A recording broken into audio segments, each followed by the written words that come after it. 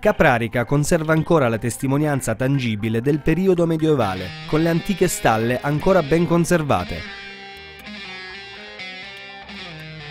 Esse erano edifici adibiti al luogo di ricovero, manutenzione, nutrimento e riposo degli animali.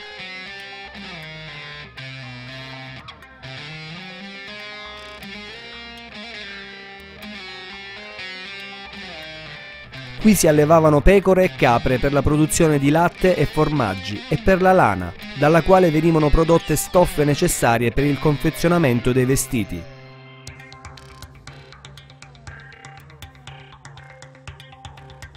In questi luoghi le donne erano solite lavorare nei periodi invernali, essendo questi ambienti riscaldati dal fiato degli animali.